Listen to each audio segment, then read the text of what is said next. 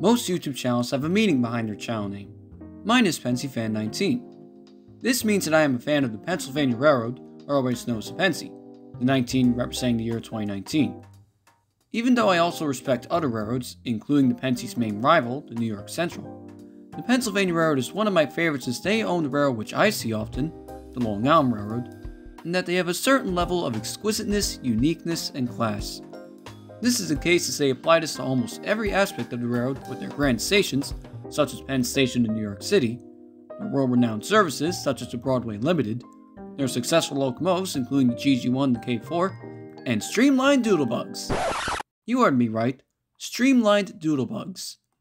This is one of the examples of how the Pensy brought their unique level of quality right down to the branch lines throughout their system.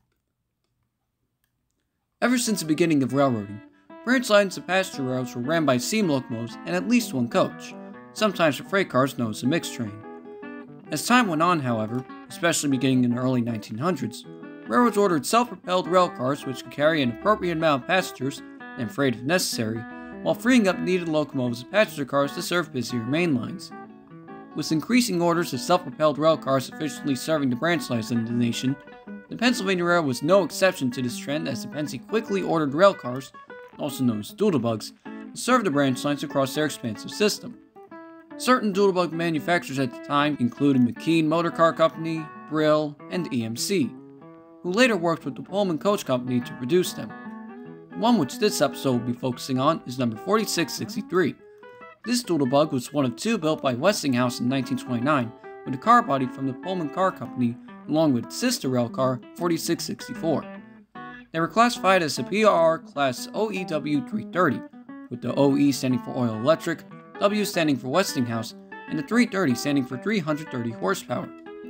4663 and its sister served the Pensy on nearly countless branch lines at the time, especially on the Logansport to South Bend, Indiana branch on train numbers 316 and 319. These two doodlebugs served the Pensy very well for a decade until 1941, when an accident involving Doodlebug 4648 in Ohio a year prior led to the rebuild of all of these railcars on the Pensy from gas engines to diesel engines.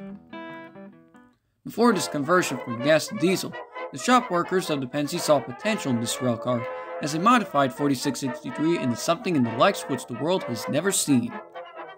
After a rebuild of this railcar, it came out streamlined, an honor only given to mainline express locomotives at the time as it was the only doodlebug that the Pensy rostered which was streamlined, and one of the few streamlined doodlebugs in the world.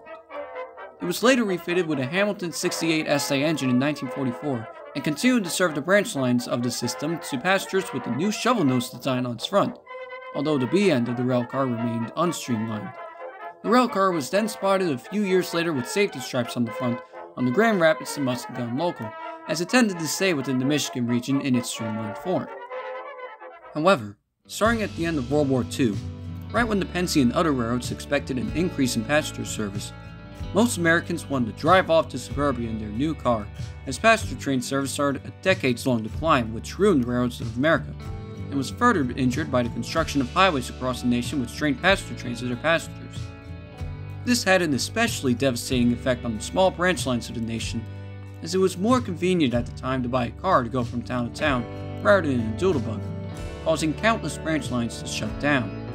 As there was little to no service left for this doodlebug and nurse of its kind, 4663 was scrapped in 1954.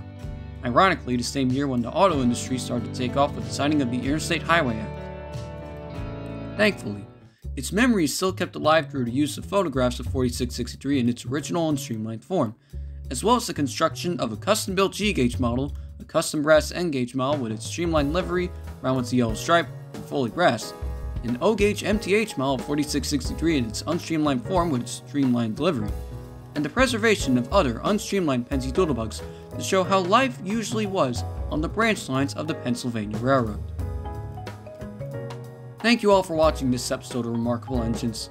This series does not necessarily go over locomotives which are famous from railroading, or all the engines in one railroad, but rather specific underrated engines which this series brings more light upon, and 4663 is no exception, as it is the only streamlined doodlebug rostered on my favorite fallen flag railroad. Not to mention, the concept of a streamlined doodlebug is a bit of a paradox, as streamlining is a technique used in order to achieve speed for famous passenger trains on busy mainlines, instead of short, little-known branch lines of the same railroad.